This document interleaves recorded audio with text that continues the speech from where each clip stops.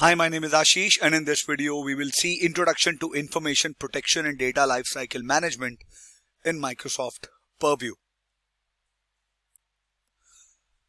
Well, we all know that data is exploding.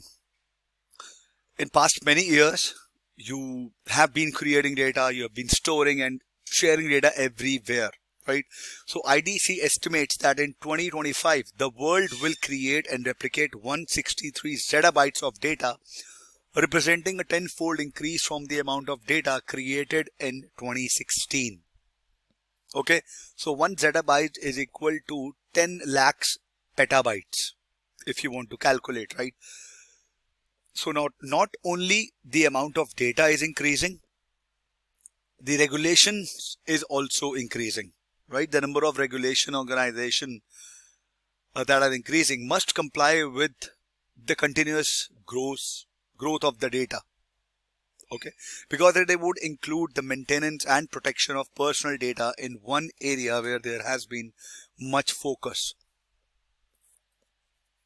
And the fines that these uh, privacy regulations have when you are non-compliant okay or, or if you're not complying or there are withdrawal of licenses and lower credibility with regulators and customers. We all know that discovering and managing data is challenging. Many organizations are struggling with managing their data. And there have been researches that tells us most organizations don't have the information to understand the risk they face. So Protecting data has become more challenging as people work in new ways, including creating and sharing data across organizational or regional boundaries. We need to protect our sensitive information on devices, software uh, as a service applications and cloud services. And then there is an addition to on-premise environments. There are profiles uh, the risk profile is likely to increase without an information protection and governance strategy. So this is very huge. All right. Then you have to define an information and protection strategy. So if you would ask with your team members or if you are part of that team, then uh, you would have these points to discuss that does your organization have a strategy to detect, manage, and protect sensitive information across your digital estate.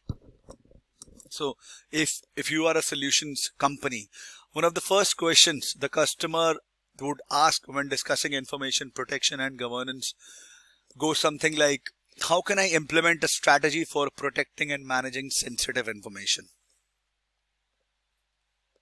Okay, so if you ask many of the technical architects who have been uh, working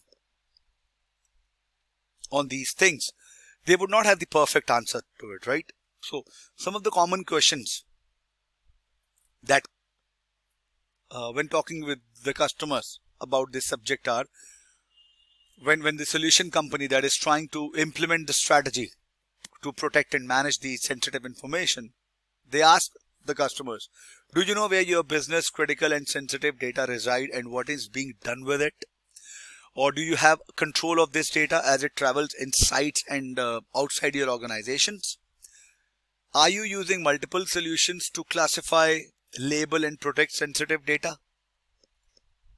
These are the primary questions that companies ask. And the points that you have to be very sure of is that you have to protect and govern data wherever it lives. So Microsoft offers integrated information protection and governance solutions to help you protect and govern your data throughout its life cycle wherever it lives and whenever wherever it travels. It isn't just about the data in Microsoft 365 services like Exchange Online, okay, or the on-premise or the Office 365 apps Sensitive data also resides in the data visualization tools, your Power BI. Okay. Your organization might also use non-Microsoft clouds like Dropbox or this other SaaS applications, right? And you, your data might be resigning on all of them. Who knows that, that you are using all of this stuff in totality, right? You need a unified approach to data discovery and classification. So Microsoft is taking a unified approach to the discovery and classification of data. This approach covers various services such as Microsoft 365, productivity apps, the Power Platform, non-Microsoft cloud services, and apps. It also includes data stored on the on-premise as well. So unified approach would have consistent classification of data across devices, apps and services, strong integration into the application and services, deep content scanning with more than 90 built-in sensitive information types, fully extensible scanning with support for custom sensitive information types and trainable classifiers. Alright, and this would make sure that you have and this would make sure that you have the balance security and productivity. So as a consultant, architect, or the solution consultant, product consultant, data consultant, or the team, you must strike a balance in the organization's interest in security with your workforce desire for mobility and productivity. So the capabilities uh, tip the security side of the scale would be to enforce conditional access for sensitive data, DLP actions to block sharing, file and email encryption based on sensitivity label, prevent data leakage through DLP policies, business data separation on devices, secure email with encryption and permissions. Okay. So if I would have to show you, here it is. So if you want to balance the data security and productivity, you have to, to secure the data, you have enforced conditional access to sensitive data. To enable the productivity, you would have manually apply a sensitivity label consistently across apps, applications, and endpoints. DLP action to block sharing, show recommendations and tool tips for sensitivity labels with auto labeling and DLP. Same way it goes with encryption, DLP policies for data leakage, business data separation, secure email with encryption and permissions. Then you have to have the information protection and governance life cycle. Okay. So the implementing an information and governance solution for the organization is a journey and every organization takes a different approach.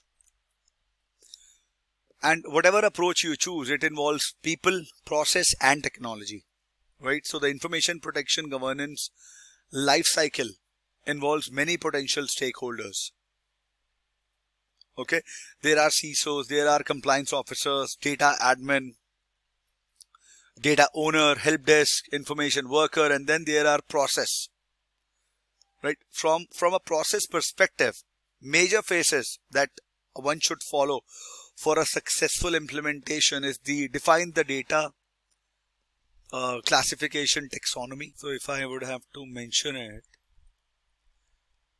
define classification policy conditions, create, test and deploy the labels and policy settings and ongoing usage, monitoring and remediation.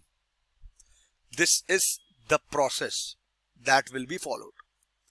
And if you ask about the tools or the relationship between the the people that are involved like CISO, compliance office, data admin and how would the process is aligned or a one-to-one -one mapping is done is like this.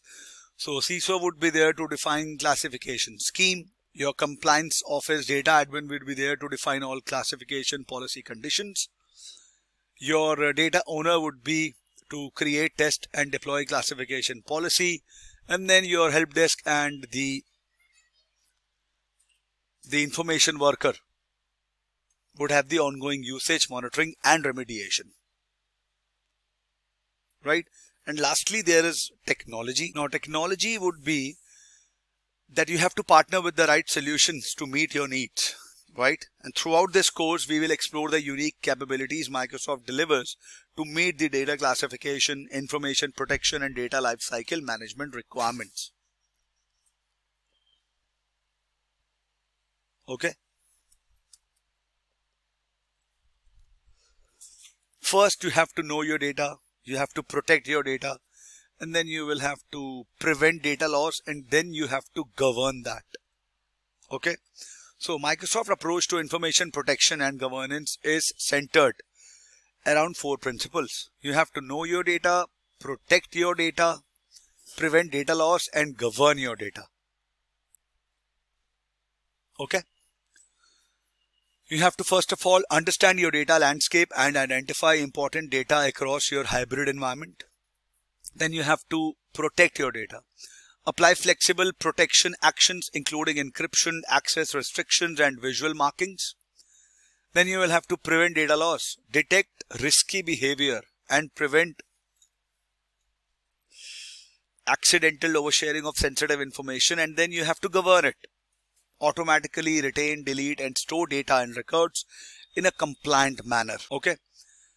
Now if you if you want to go in that directions right. You will